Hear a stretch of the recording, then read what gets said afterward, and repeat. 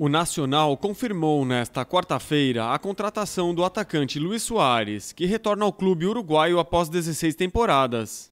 O atacante de 35 anos postou uma mensagem em seu Twitter, na qual mudou sua foto de perfil para uma vestida com a camisa do time uruguaio, onde iniciou sua carreira profissional. O Nacional também usou as redes para confirmar a contratação do experiente atacante que também defende a seleção uruguaia. O atacante fez sua estreia oficial com a camisa do Nacional em maio de 2005 e saiu em julho de 2006 rumo ao Groningen, da Holanda, depois de jogar 48 partidas, marcar 12 gols e vencer duas vezes o campeonato uruguaio. Na Europa, além do Groningen, Soares defendeu o Ajax, Liverpool, Barcelona e Atlético de Madrid.